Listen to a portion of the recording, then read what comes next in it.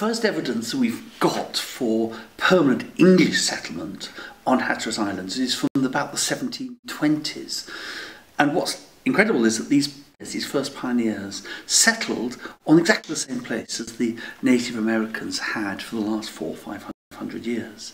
So what we find above the Native American levels is archaeological evidence for these first English. For example, this is a piece of slipware um, a type of um, earthenware pottery that they would have um, cooked and eaten their food off, something like that. Or, for example, here we've got a really good example of a bottle, an onion bottle or brandy bottle, and there's the, the neck and there's the base from around 1720, 1730. But I suppose one of the really telling pieces were at the right date is this halfpenny, which is actually dated exactly 1737. So somebody left a, a coin there in these levels.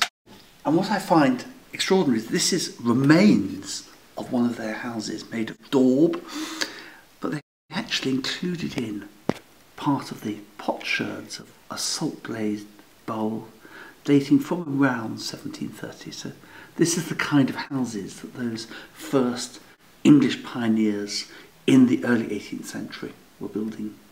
The first English pioneers didn't just survive with fishing and farming, but probably indulged a bit of piracy.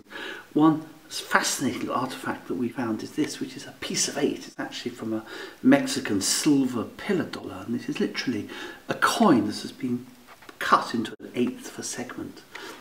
This was a classic coinage that was doing the rounds in the Spanish treasure ships of the first part of the 18th century.